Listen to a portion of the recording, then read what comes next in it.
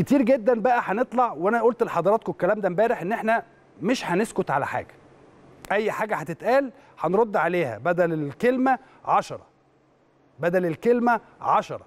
لأن من الواضح إن الناس بتفهم السكوت اللي اللي, إحنا متعودين عليه دايما أو اللي إحنا اتعودنا عليه هنا في النادي الأهلي إن لما الناس بتحس إن إحنا ساكتين بيقولك دول غلابة دول ساكتين دول ضعفاء ولكن مش دي الحقيقة.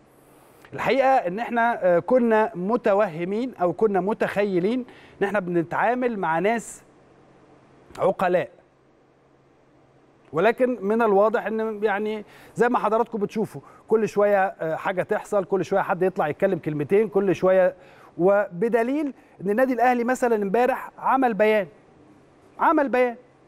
قال لك إحنا هنروح للنائب العام ردا على التطورات اللي حصلت اول امبارح أو اول اول امبارح فيما يخص موضوع حسين الشحات وإن الفلوس جاية من كذا والفلوس جاية من كذا والكلام ده كله. ولكن النادي الأهلي اتبع الأساليب القانونية في هذا الموضوع وسيظل يتبع الأساليب القانونية في هذا الموضوع. كل الكلام اللي بيتقال في كل في في هذا الإطار هو كلام تافه الحقيقة وكلام لا يصح إن هو يقال لأن أي حد عنده دليل على أي حاجة ما يطلعها.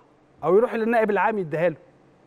إحنا عندنا هنا قضاء محترم جدا جدا جدا. أي حد عنده أي حاجة يروح يديها للنائب العام يروح زي ما النادي الأهلي عمل كده. النادي الأهلي بيقول إن هو عنده هيقدم بلاغ للنائب العام بسبب بعض التجاوزات من بعض الأشخاص. وبالتالي إحنا مش هنسكت على حاجة هنتكلم في كل شيء هنرد على أي حد بيتكلم. زي ما قلت لكم النادي الأهلي نزل بيان و النادي الاهلي مش هيرد بالكلام. النادي الاهلي ما بيردش بالكلام. النادي الاهلي بيرد بردود عملية. بردود عملية.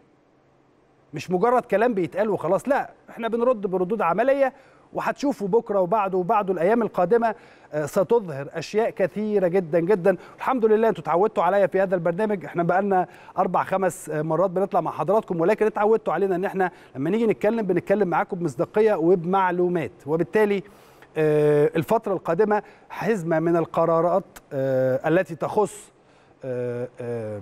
الحقوق الأدبية والحقوق المادية للنادي الأهلي علشان حفاظا على هذه الحقوق لأنه من حقكم أنتوا كجمهور وأنتوا قاعدين بتتفرجوا أو قاعدين بتشوفوا مجلس إدارة النادي الأهلي ماذا يفعل كي يحافظ على حقوقه المادية وحقوقه الأدبية.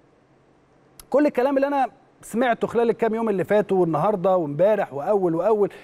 كل الكلام ده كلام تافه.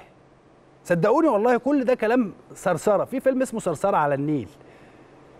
صرصرة على النيل. فكل دي كلام آه الواحد ما بي يعني آه ملوش نهاية. مجرد كلام يتقال في الهوا. مجرد كلام بيتقال لمجرد إن أنا برد على حاجة حصلت ومش عارف أرد عليها إزاي فبقول أي كلام.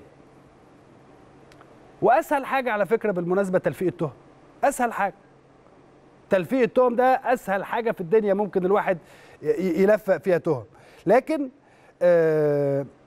أبواب النادي الأهلي مفتوحة للجميع. أبواب النادي الأهلي مفتوحة للجميع. أي حد أي حد بيشك في أي حاجة تخص النادي الأهلي وده حصل بالمناسبة قبل كده وزي ما حضراتكم شفتوا وزي ما عرفتوا والنادي الأهلي هو اللي كان طالب هذا الموضوع. أبواب النادي الأهلي مفتوحة لأي حد يجي يفتح الباب ويقول لنا إحنا عايزين نراقب أو عايزين نشوف الحتة المالية الفلانية. ما عندناش مشكلة خالص.